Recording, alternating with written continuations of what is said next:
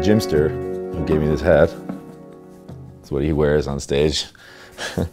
uh, Jimster and I sang Every Grain of Sand together. In the time of my confession, in the hour of my deepest need. To sing it as kind of a, basically a duet with, with Jimmy was a touchstone in my life. I always like to go into a recording studio with, uh, you know, with with this young fella here. You know, it's it's a very good experience so far. so far. that was cool. That was cool. Yeah, yeah. This music and their voices, they give me answers in, in, in my life, and it's it's an extremely extremely important thing to be here.